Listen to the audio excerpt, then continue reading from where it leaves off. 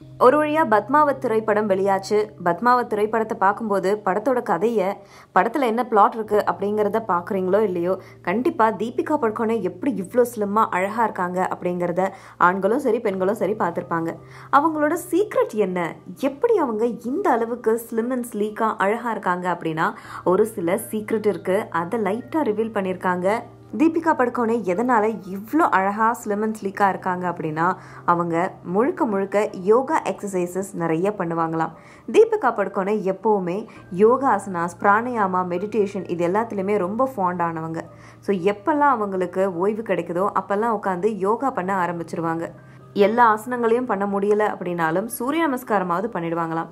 அது தவிர்த்து இவங்க ஒரு கிரேட் டான்ஸ் லவர் ஸோ இவங்களோட கார்ஜியஸான டான்ஸுக்கும் காரணம் இவங்க டான்ஸ் ப்ராக்டிஸை ரெகுலராக எடுத்துக்கிறது தான். அது மட்டும் இல்லாமல் எப்போவுமே ஸ்லிம்மாக இருக்கணும் அப்படிங்கிறதுக்காக இவங்க ஜிம்முக்குன்னு தனியாக டைம் ஒதுக்கி வச்சுப்பாங்களாம்.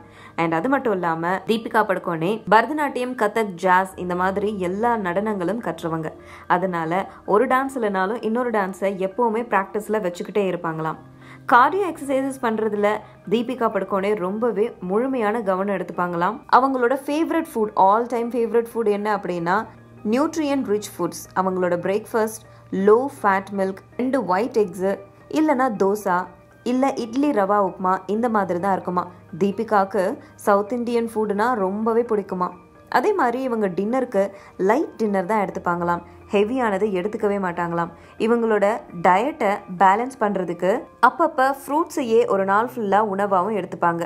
ஸோ இவங்களோட மேஜரான சீக்ரெட் என்ன அப்படின்னா பசிக்கும் போது சாப்பிடுங்க. அதுதான். ஸோ பசிக்கும் போது சாப்பிட்டு ஆக்டிவாக இருந்து இந்த மாதிரி எக்ஸசைசஸ்லாம் பண்ணிகிட்டே இருந்தீங்கன்னா தீபிகா மாதிரி நீங்களும் ஸ்லிம் அண்ட் ஸ்லீக்காக இருப்பீங்க.